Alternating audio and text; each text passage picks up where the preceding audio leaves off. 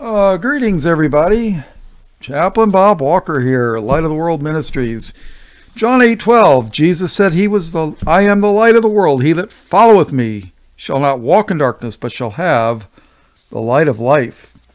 And Jesus is indeed that light of life in this world of darkness. Just a quick little update. Um, sorry, I've been neglecting everybody with, uh, yeah, I've been working. Well, I found a job, a decent paying job too. It's it pays okay. Uh, got a good boss. I like him a lot, and uh, they hired a old guy like me in his mid 60s. So uh, they were either hard up or uh, well something, you know. But um, yeah, I, you know, so I'm thrilled to death. Go, you know, I don't really want to go back to work, but uh, the way the uh, inflation's been going because the um, uh, the monopoly money they've been printing, you know, what can I tell you? And I had a suspension for a while there because you know who uh, doesn't like many of the things that I say. So, what can I tell you? But uh, just so you know, I you know people send me articles, and I got to decide if I post this, will it get my channel banned? But then I have to think about, you know, got to feed the flock, got to warn the flock. I mean, they're not my flock, they're flock of Christ, but you know. And uh, I got I do my own research. Uh, Russia Today a year ago was really excellent with stories, but they're uh, I guess they you know the Go Yim uh, were learning too much, so they uh, they got rid of the USA News. Well, the news in the United States, they had a U.S. section, and they had a lot of stories that the national news wouldn't cover, and I guess they thought we were learning too much, so they got rid of it. I was like really disappointed. So, yeah, but I, I you know, got to do my own research, and I try to find um, news stories. Plus, uh, you know, I try to answer all my emails. I try to. I really do. Um, but if I answer emails, it kind of takes away from my uh, Bible studies. But you know what? Uh, 1,500 Bible studies. And a lot of them, almost all of them, are at least 30 minutes. Most, well, I don't know about most, but many of them are an hour long. So, yeah, I got a lot of stuff out there, and they're dinging me for my old studies, my old stuff. And it's a shame that you got to, um, you know, uh, talking code just to be able to keep your channel. I sent somebody a private audio and I posted it on YouTube because it was too big to send by uh, email. And they flagged it for Med D Cole Miss information. And I got a suspension for it. And neither she nor I remembers saying anything about uh, Med D Cole anything. So, all I know is the month of July is aptly named. Uh, say it, it's two syllables, July. Say it slowly. July. Yeah. Yeah. Think about it. That's, boy, is that aptly named or what? So, all right. Well, with that being said, let's, uh, let's go back to Judah's Scepter and Joseph's birthright.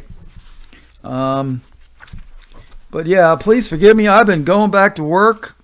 I mean, full time and overtime, and uh, I'm tired. You know, I thought for sure I was going to be able to retire, and and between my Social Security and my tiny little city pension uh, would be enough. You know, until gas went to five dollars a gallon, and uh, yeah, it's you know you all know. And those of you that have helped me financially, thank you. But you know, I I don't do this for money, and I don't beg for money. You know, you everybody I know is poor like me. You know, I mean, I had enough to get by on, but you know, when gas was two something a gallon, but five a gallon, and everything's going up. It's it's insane, as you know. Well, they're just printing money. You know, people think inflation is the cost of goods going up. No, it's not. It's the value of the paper that they print that they call money going down. I mean, let's face it, if you every time you print and you double the money supply, the money's worth half as much. And they've done that a number of times. So do you even know what the the legal the legal definition of a dollar? Do you know what the legal definition of a dollar is? The legal definition of a dollar is one ounce of 90% pure silver. When Clinton was president, I was buying one ounce uh, silver coins, 99.9% pure, for $5. That same coin that my uh, dad's wife stole, along with a lot of other things that I had, um, is now worth about, I think the spot price of gold is between 20 and $25 an ounce. So since Clinton was president, um, the value of the dollar has gone down by what? Like 250% or something like that? Or no, more than that. No, like 400% or 500%. I don't know. I was never any good at math. But when you could buy something for five bucks and now it's like 25, yeah, they're just printing money. And it's going to crash. And uh, hey, we got a solution. Problem, reaction, solution. Yeah, we're gonna we're gonna give you a digital digital currency, mark of the beast, six six six. Probably in your right head, right hand, or you're in your forehead. Yeah, no more uh, no more identity theft, and uh, no more stealing. You can't steal people's money anymore. You know, they'll have to go to the grocery store to, to rob people in the parking lot if they want to, you know. And uh, yeah, they'll they'll tout it with a lot of good things. No more identity theft. Uh, the illegal drug trade will be over because what are people going to do? You know, if they got to scan their hand to buy a bag of weed or meth or whatever they, I don't know. You know, they're going to tout it as a good thing. No more tax evasion. Of course, the ultra wealthy, they don't they don't pay taxes. No, uh-uh. No. Everything they do is a tax break. So, yeah. So, that's the uh, that's the update. Today is July 1st, 2022. So, with that in mind, well, let's just do this. Well, let's keep reading. Let's just read. All right, this is uh uh gee, what is this? Oh, this is the second part part 2 of the scepter or the promise of a perpetuated house, throne and kingdom to David.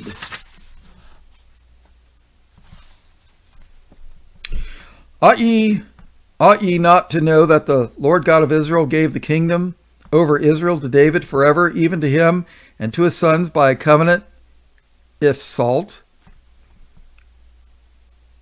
Hmm, I don't know where that comes from, but it's in the book. All right, this is chapter one of part two. The scepter and the Davidic covenant. There is no question that those who have followed us thus far, that the birthright people have been cast out into an unknown and faraway country, which, when they entered, was an uninhabited and unexplored wilderness. While Israel has been exploring, pioneering, and settling this wilderness, the Lord has so hedged up their way so that they can find neither the paths by which they came nor the place from whence they came. Although lost, insofar as their national identity is concerned, they are in the place where the Lord has said, They shall find grace, and where He has promised to speak comforting words to their hearts in the wilderness. Bob's note here. Remember the story of Robin Hood in Sherwood Forest? England used to be forests. But guess what? England, uh, for uh, decades, if not centuries, had the largest navy in the world. And what did they make the ships out of? Wood. They cut down all the trees. It used to be a wilderness. You know, sure.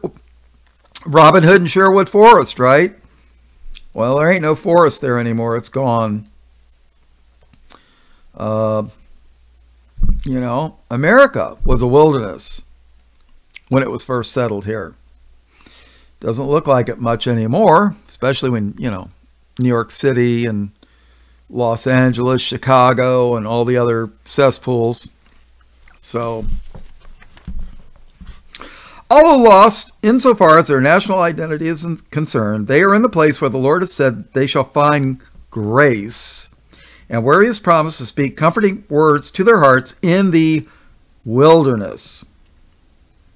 There we will leave them to fulfill their appointed destiny of becoming a multitude of nations. And Bob's note here one little nation over in the Middle East is not fulfill the promises made to Abraham, the father of many nations. One is not many. So either God lied or pastors are liars. You take your pick. Let God be true, but every man a liar, and that includes me. While we follow the history of the scepter and learn what the word of the Lord has revealed concerning his present and its future, for if God has been true to his word, unless the faith of Abraham, Isaac, and Jacob has become of no effect, then the scepter, as well as the birthright, has not only a present existence, but a glorious future. When God made the covenant to Abram, in which he made him prospectively the father of many nations, thereby changing his name to Abraham, he gave him the promise Kings shall come out of thee. Also, when the promise concerning the multiplicity of nations was reiterated to his wife, whose former name was Sarai, but now Sarah, or princess, it was said, Kings of nations shall be of her. Thus, by the choice or election of God, were they made not only the progenitors of a race, which was to develop into many nations, which were to spread abroad to the north, south, east, and west, but also a royal family. This, of course, includes a scepter, the emblem and sign of royalty. These promised blessings, given by the Lord and confirmed by to Abraham by an oath, were received by him in faith and counted as though they were already in existence for the simple reason that when a thing is promised by the Lord and received by anyone in faith, that thing must eventually materialize because faith is the God given force or power which will and must eventually bring promised things into existence. Hence, both the birthright and the scepter blessing passed from Abraham to Isaac as a real inheritance, while he in turn bestowed them upon Jacob, who so much desired them and considered them so surely to exist already that he was willing to strike bargains for them or even resort to fraudulent measures to get possession of them. Bob's note here. Uh, Jacob did as his mother said. His mother had more sense than his father, wanting to bless Esau, somebody that God hated. Oh, God doesn't hate Esau. Read Malachi 1, where he promises, and Obadiah, where it promises the destruction of Esau. So let's keep reading. At the death of Jacob, these two covenant blessings, the birthright and the scepter, were separated. The birth, birthright falling to one of his sons, and the scepter to another one of them. As we have heretofore fully explained, when Jacob, at the time of his death, while acting under the direction of the Holy Spirit, gave the scepter blessing to Judah, Bob's note, Judah was the tribe of the kings. Uh, Christ was reckoned by Joseph's line. Uh, Joseph was of the tribe of Judah. Mary was of the tribe of Levi, the the the uh, the priest tribe. And although their DNA was not used, if you reckon their lineages, it's a merging of the priesthood and the kings. Think about that. Yeah. I think I did a video on that. Yeah, I did. Uh, if you hit my playlist on uh, you know who tube, um, uh, it's the playlist, you know, who is Jesus or something like that.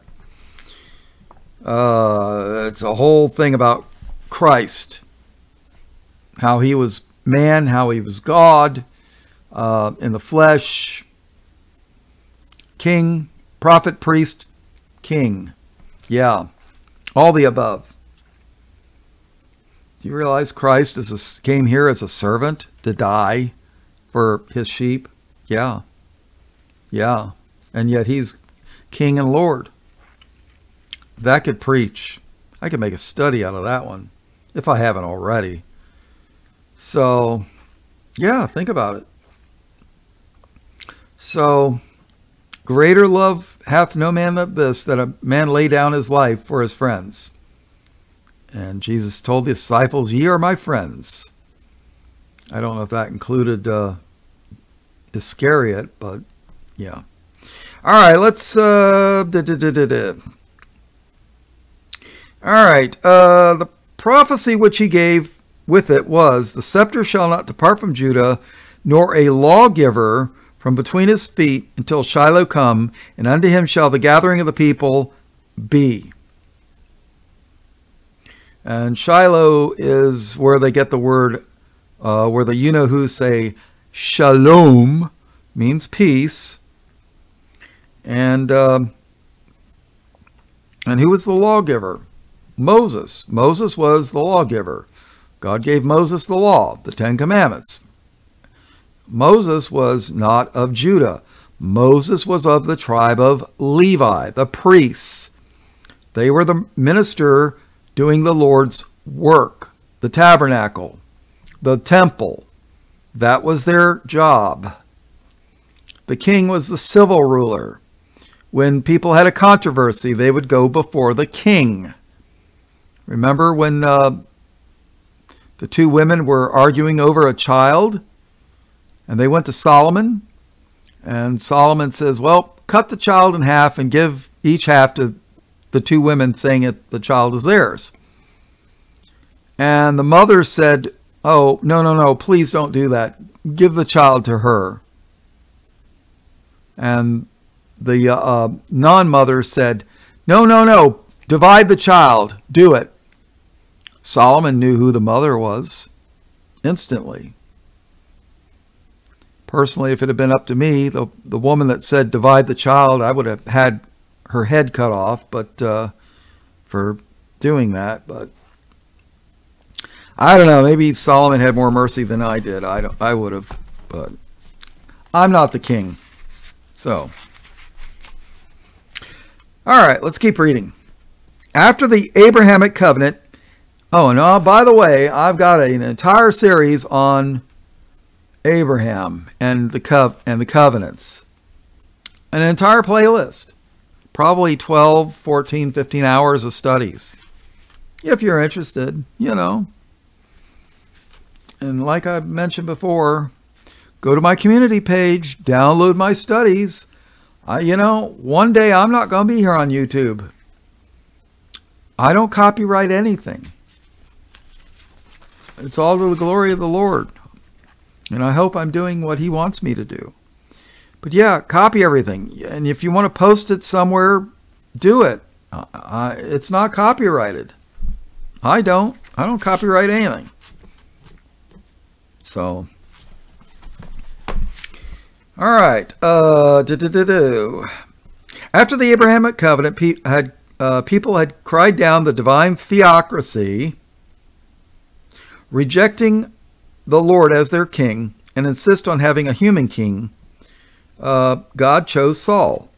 Although Saul was not of the royal line, but a Benjamite, he was permitted to reign, for the Lord had determined to give the people the desire of their hearts. And I did a Bible study on that too. God's feelings were hurt. They didn't want the Lord as king. God fought their battles for them. He threw down hailstones from heaven to kill the enemy army. And they didn't, you know, they we don't want the Lord as king. No, no, we want a human king. You can read that in the book of Samuel. God said, Well, okay.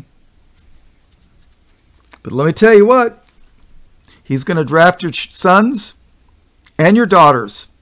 Your sons are going to be fighting battles. Your daughters are going to be his cooks and bakers. He's going to take your best of your lands and he's going to tax you to death. And that's the Bob paraphrase version. And uh, when he does all that, don't cry to me because I'm not going to listen to you.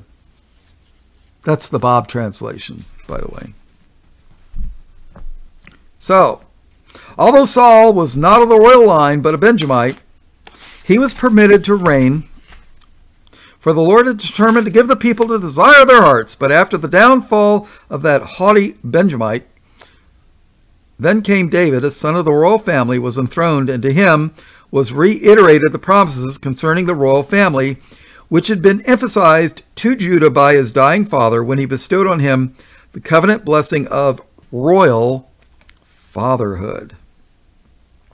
When the scepter covenant was confirmed to David, the Lord gave the message through Nathan the prophet in these words. Bob's note here. This is why it's so important to read the Old Testament, people. The whole Bible is your book.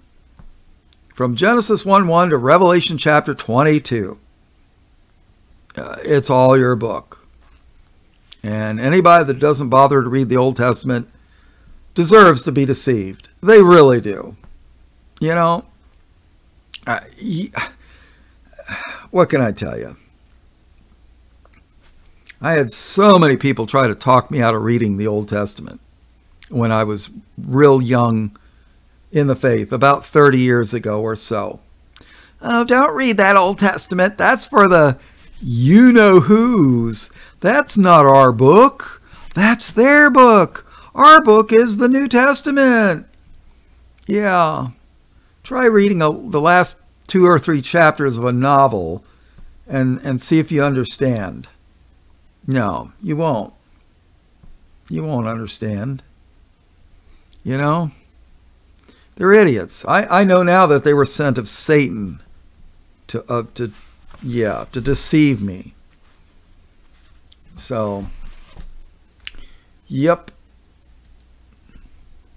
So, get the uh, Alexander Scourby, S C O U R B Y, um, on CD or USB drive or whatever, and listen to the Bible in your car driving to and from the work or on trips or whatever, or at home. Turn your television off. Listen to the Bible instead. You'd be surprised how much you'll, you'll learn in such a short period of time. I mean, I'm not a Bible scholar. I'm just some guy that's read the Bible a couple times and listened to it a couple times.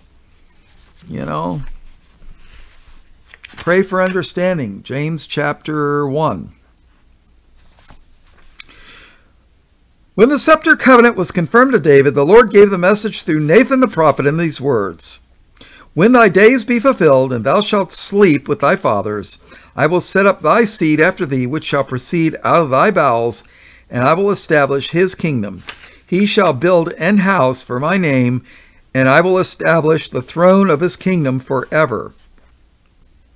I will be his father, and he shall be my son. If he commit iniquity, I will chasten, chasten, chasten him with the rod of men, but my mercy shall not depart from him, as I took it from Saul, whom I put away from uh, before thee.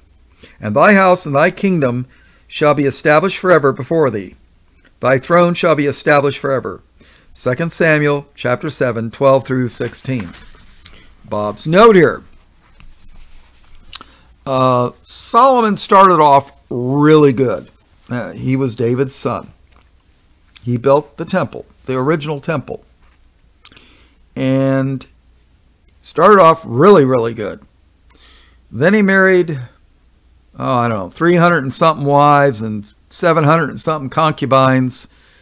Um, I mean, if you were, think about it, if you were a um, full of energy 20 year old guy and you could uh, service three women a day, I'm trying not to be crude here, but uh, it would take you a year to go through all your wi- uh, wives and concubines. Yeah, think about it. I mean, you know. And he married women who were of the satanic seed line. And they got him into Satan type worship. Uh, you know, and the Lord was really displeased. However, at the end of his life, he uh, let's see. I think yeah he wrote proverbs and ecclesiastes. And he realized how worthless uh, that those heathen satanic wives that he married leading him astray to worship false you know the false gods and idols and all that other stuff. So he realized at the end of his life and god said that he would pardon him. We just read that, you know, we just read that. But my mercy shall not depart from him, as I took it from Saul, whom I put away before thee. And thy house and thy kingdom shall be established forever before thee. Thy throne shall be established forever. All right, so. David was so impressed with the magnitude of this prophecy and with the period of time which it covered that he went in and sat before the Lord, pondering over it, until in wonderment he exclaimed, Who am I, O Lord God, and what is my house that thou hast brought me hitherto? And this was yet a small thing in thy sight, O Lord God, i.e., the present power, glory, and prestige of David's house, throne, and kingdom. But thou hast spoken also of thy servant's house for a great while to come.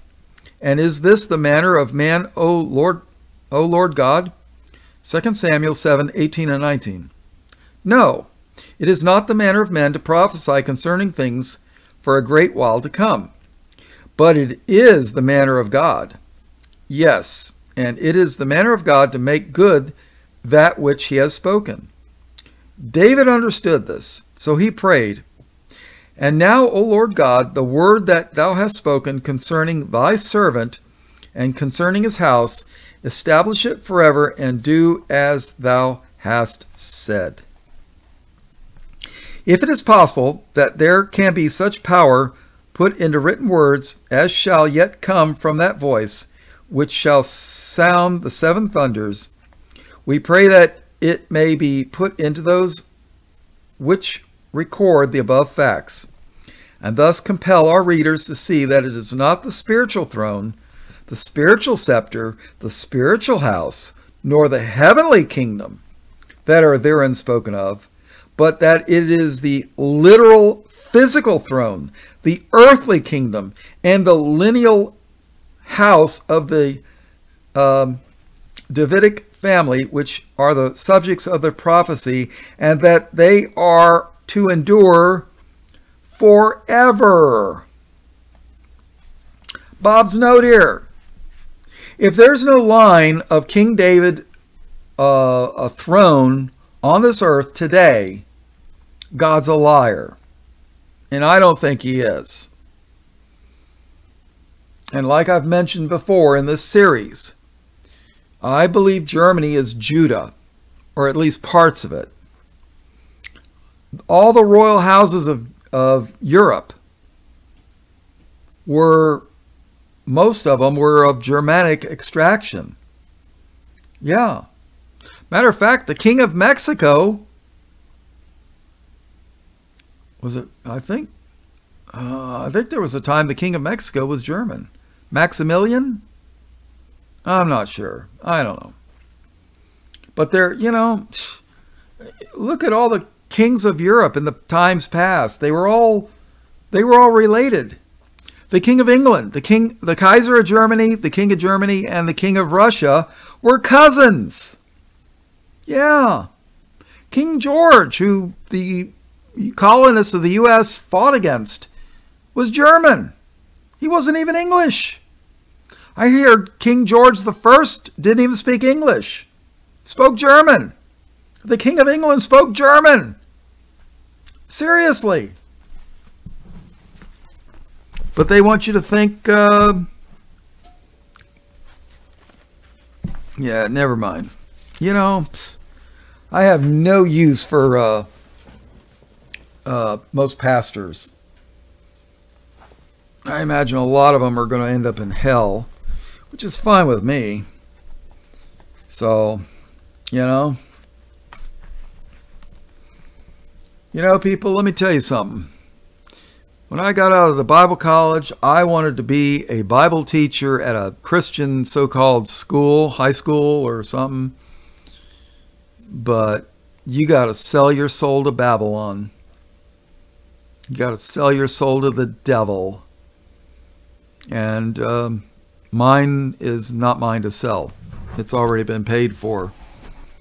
So, what can I tell you? All right, let's keep reading.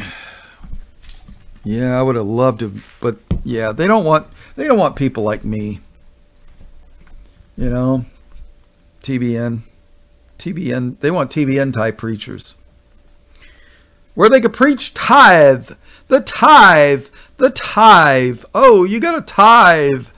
Uh, tithes and offerings. God will curse you if you don't tithe. Yeah.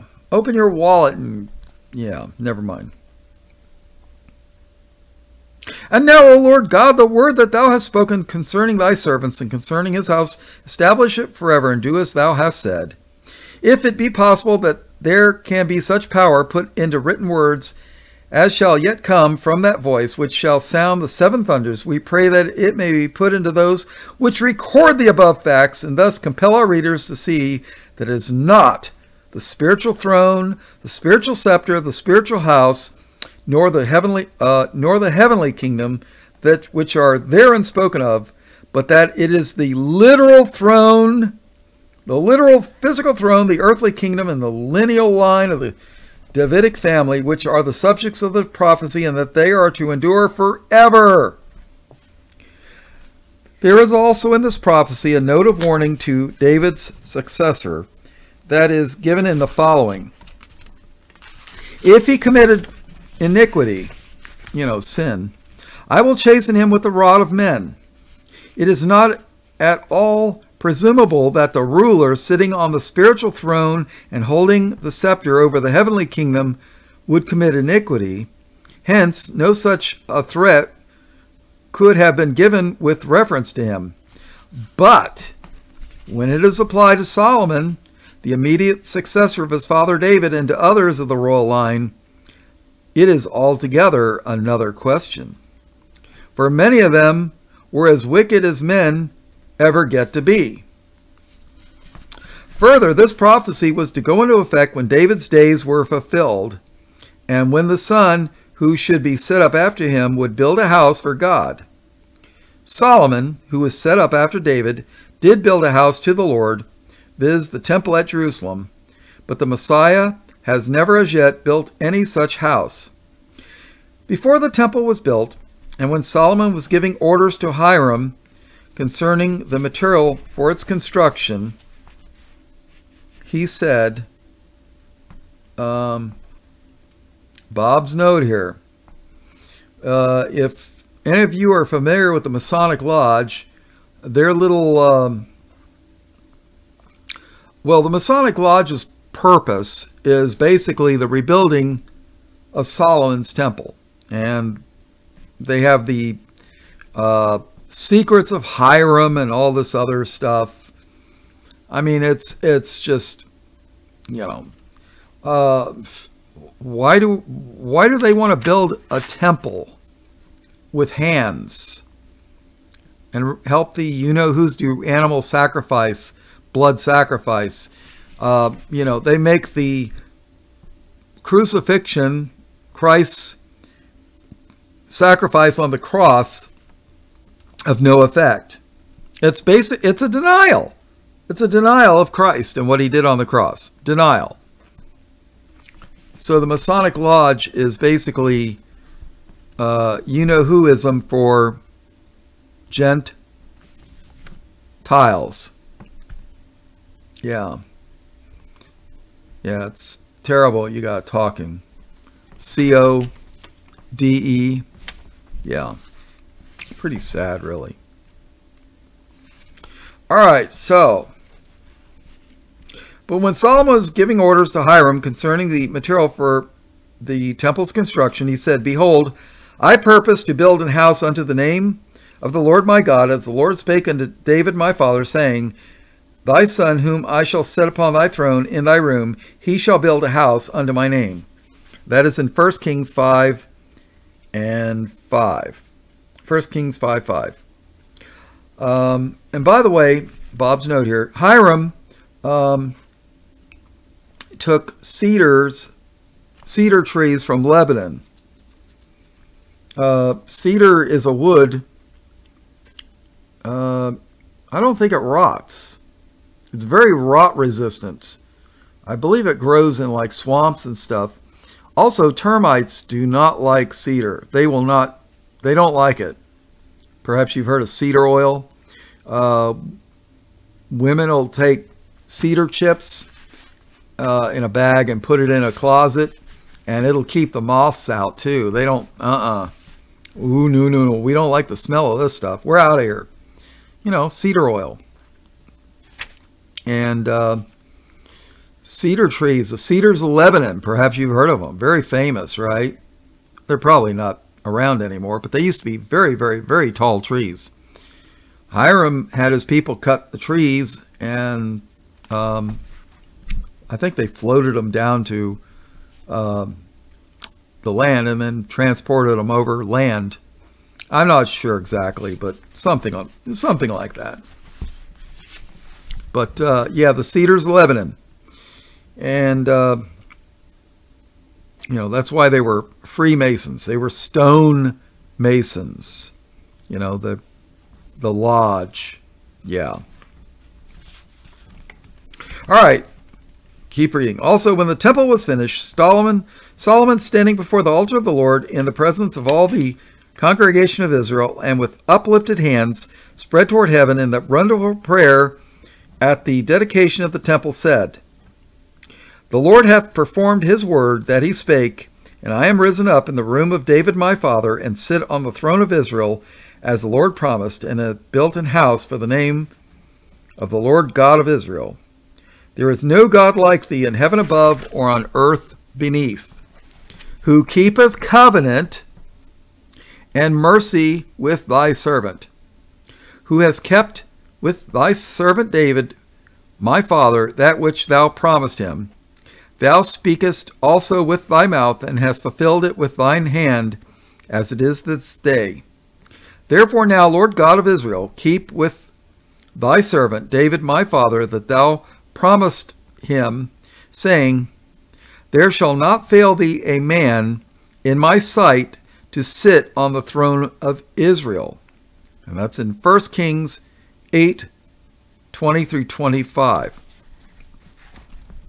By this prayer, we see that Solomon understood that the throne, the kingdom, and the lineal house of David should stand forever. Solomon not only understood it this way, but declared it before all the congregation of Israel so that the entire nation should be fully aware of the fact uh, that this was so thoroughly known in Israel and acknowledged by our prophets that at the time of the division of the race into two kingdoms in the days of Rehoboam and Jeroboam, Abi, uh, Abijah, in his zeal that the lineal rights of the royal family might not be ignored, stood upon a mountain in Ephraim and cried out, Hear me, thou Jeroboam, and all Israel. Ought ye not to know that the Lord God of Israel gave the kingdom over Israel to David forever, and to his sons, plural, sons, not son, not one, but many, by a covenant of salt and evidently that's in First Kings. I'm not sure where that's at. It doesn't tell you. Yeah. Yeah, he doesn't tell me what chapter and book it's in. Uh, the marginal reading is a perpetual covenant. Perpetual means forever. In case you don't know it, perpetual means forever. You ever heard of a perpetual motion machine? Yeah. You know, uh, the so-called pastors want you to think that uh, Dave, you know, the Davidic covenant died when Israel went into captivity and all that. So the uh, the, 80, the 89th Psalm contains much light regarding the covenant under consideration which the Lord made with David and his sons, sons concerning the perpetuity of his throne, scepter, kingdom, and his posterity. In it, the Lord declares, I have made a covenant with my chosen. I have sworn unto David my servant, saying, Thy seed will I establish forever and build up thy throne to all generations, not a few, not some, not even many, but all generations. Continuing, he says, My mercy will I keep for him forevermore, and my covenant shall stand fast with him. His seed also I will make to endure forever, and his throne as the days of heaven. If his children forsake my law, and walk not in my judgments, if they break my statutes and keep not my commandments, then will I visit their transgressions with the rod, and their iniquity with stripes. Uh, Bob's note, stripes as in uh, a whip. When you get hit with a whip, it leaves a mark like a stripe. You know, tiger has stripes. Yeah. When you get beaten with a whip, it leaves stripes. So, you know, that's what it's talking about here. Um, let's see. Nevertheless, my loving kindness will I not utterly take from him, nor suffer my faithfulness to fail. My covenant will I not break, nor alter the thing that has gone out of my lips. So God's not going to break his promise to David. Surely it is not possible to break the force of these words. The proposition could not be stated in stronger terms. The Lord simply will not break his covenant. He will not change nor modify, nor in any way or for any reason alter the thing which he had spoken. Even if the children of David do forsake his law and break every commandment in his statute book, if they do break his laws, he will chastise and punish them with the rod and with stripes, but he will not suffer his faithfulness to fail. The covenant is unconditional. It shall stand fast. No matter how often they are visited with rod and stripe for their transgressions, no matter how severe the punishment, the fact remains that the throne, the scepter, the kingdom, and the seed must endure forevermore. The fact that this is the confirmation of the Davidic covenant, the Lord uses the expression, his children, they and their, all in the plural form, is proof that this covenant does not have reference to the spiritual reign of his son Jesus Christ in the hearts of Christians. Bob's note here. That's what they say. Oh, the Davidic covenant, you know, Jesus rules and reigns in our hearts. That's the Billy Graham, Billy Goat Graham garbage. Throw it in the garbage. Don't listen to them. They're devils. Graham is a common you know who name. It rhymes with news and starts with a J. You know, like the month of July. Yeah. Yeah. Yeah. Not J U L Y, but yeah. Yeah. You I, I, I think you get the idea. Furthermore, it is not possible that Jesus Christ, he of whom the prophet Isaiah wrote, saying, Unto us a child is born, unto us a son is given, whose name shall be called Wonderful, Counselor, the Mighty God, the Everlasting Father, the Prince of Peace. We say it is not possible for this Prince of Peace, who is the mighty God, to break his own commandments, forsake his own laws, or disregard his own statutes, and then punish himself for his own wickedness.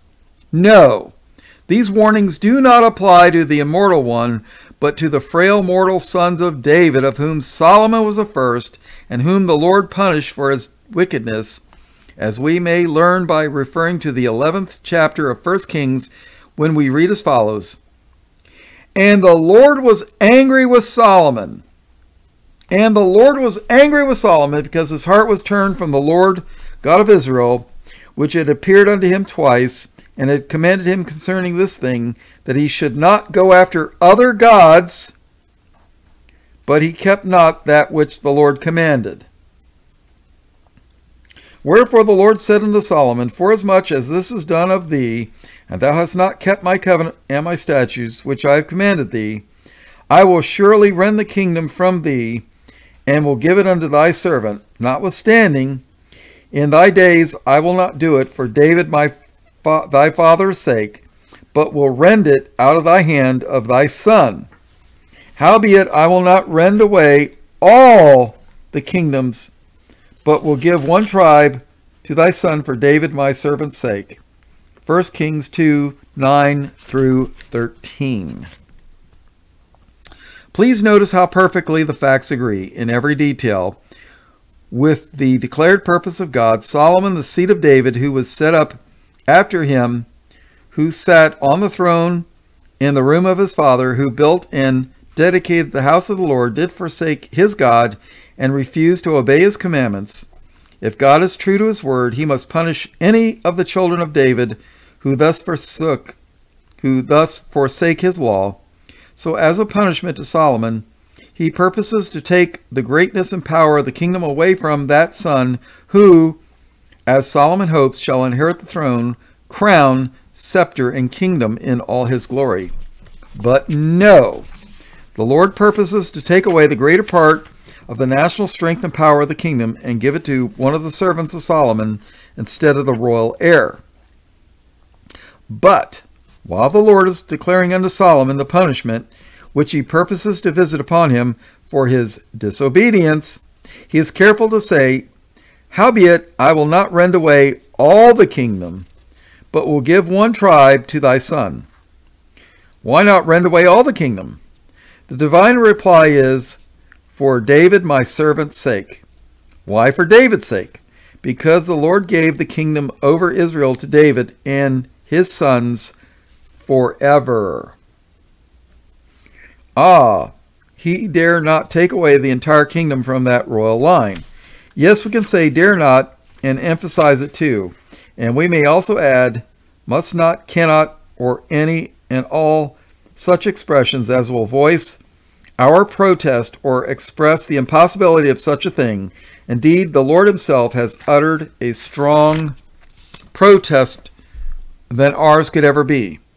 We say this because the Lord, in his psalm, which we have under consideration after saying, My covenant will I not break, nor alter the thing that has gone out of my lips, has in the very next statement made use of the words which forever shut the door of retreat.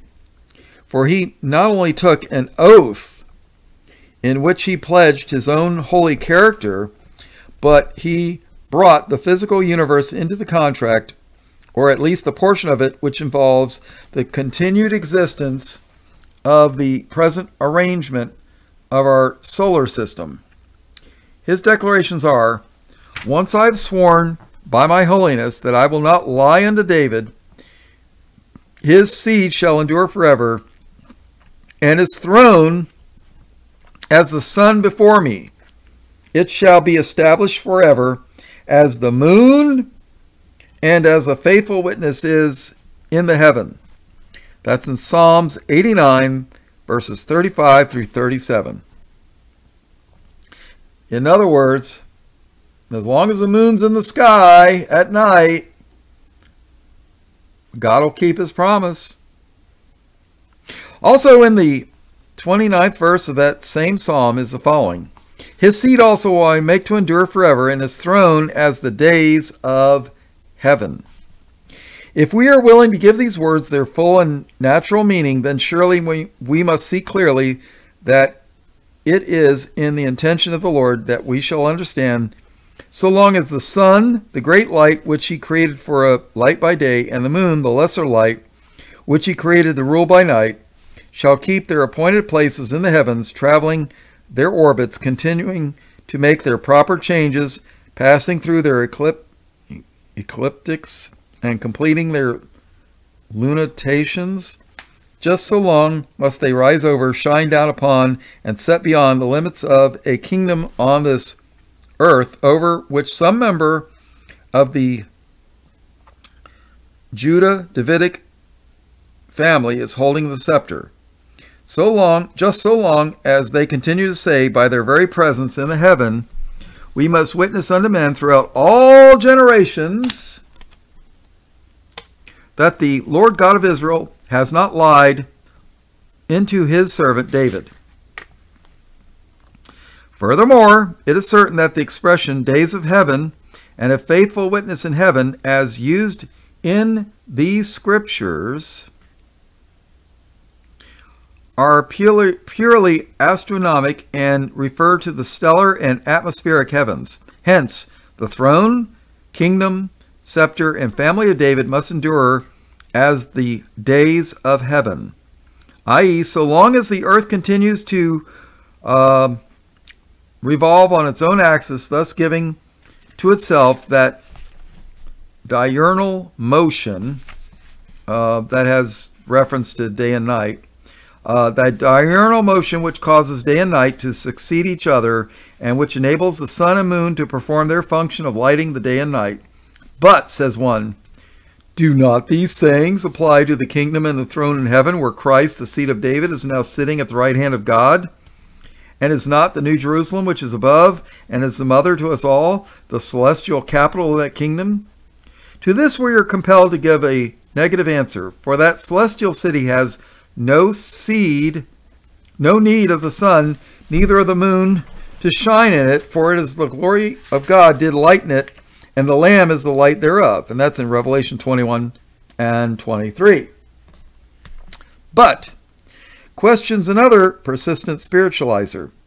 Do not the seed and throne mentioned in these scriptures refer to Christ, who is the son of David in his spiritual kingdom, which is set up in the hearts of men? Again, we are compelled to reply in the negative, for the Holy Ghost is the divine illuminator of that kingdom, the sun and moon having never been heavenly lights, only in an astronomical sense. Furthermore, a mere glance at the context will reveal the fact that the Lord is dealing with a very earthly seed and kingdom for intermingled with the promises of an everlasting seed, throne, and kingdom, the declaration is made concerning the children of David that if they do not walk in his statutes and judgments and commandments, but forsake his law and break his statutes, then he will visit their transgressions with the rod and their iniquity with stripes. But still, no matter how wicked the ruler on the throne or the subject in the realm, he will not suffer his faithfulness to fail. His covenant with David must stand forevermore. Hmm. The only conditions